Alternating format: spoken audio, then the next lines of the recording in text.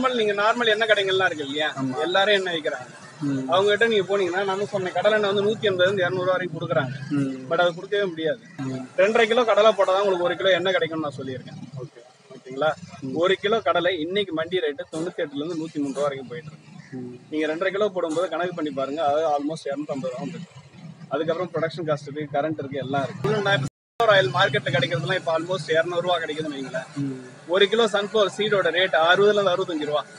நீங்க ஆறு கிலோ போட்டாலும் ஒரு எண்ணெய் ஒரு கிலோ ஒரு லிட்டர் எண்ணெய் எடுக்க முடியும் ஆனா நீங்க வாங்குறது இரு- இரநூறுவா யோசிச்சு பாருங்க எப்படி முடியும்?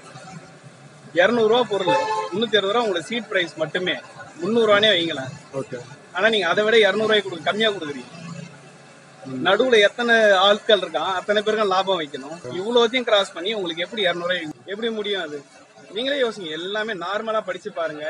அந்த கவருக்கு பின்னாடி என்னென்ன இருக்குன்னு போட்டிருக்காங்க. அதை அப்படியே கூகுள் பண்ணி படிச்சு பாருங்க எல்லாருமே. எல்லா எண்ணெய்க்கு ஸ்மோக் பாயிண்ட் இருக்கு? வாட்டர் கட்டி பாயிலிங் பாயிண்ட் இருக்கும் அந்த மாதிரி எண்ணெய்க்கு ஸ்மோக் பாயிண்ட் இருக்கு. நூத்தி அறுபது டிகிரி மேக்ஸிமம் தாங்கக்கூடியது கடலெண்ணெய் இதை தாண்டும் போது அந்த எண்ணெயில இருக்க நல்ல கொழுப்பு அத்தனையுமே கெட்ட கொழுப்பா மாறுது. அங்கதான் நமக்கு பிரச்சனையே உருவாகுது.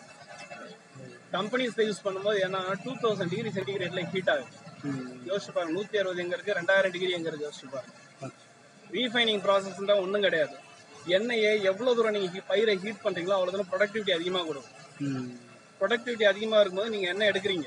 ஓகே இப்போ எக்ஸாம்பிள் நான் வந்து பத்துக்கு வந்து நாலு லிட்டர் நாலு லிட்டர் எடுக்கிறேன்னா அவங்க பத்துக்கு ஆறு கூட எடுக்க முடியும். ஏன்னா ஹீட் அதிகமாகுது. ஆனா உங்களுக்கு என்னோட தன்மையை கெட்டு போயிடுச்சு. அதுல இருக்க நல்ல சத்து எல்லாம் வெளில எடுத்துறாங்க பிகாஸ் அது எல்லாமே கெட்ட கொலஸ்ட்ராலா மாறி போச்சு. சற்று முன் டைம்ஸ் சோசியல் ட்ரெண்ட் செய்திகளை தவறாமல் காண நம்ம சேனலோடு தொடர்ந்து இணைந்திருங்கள்.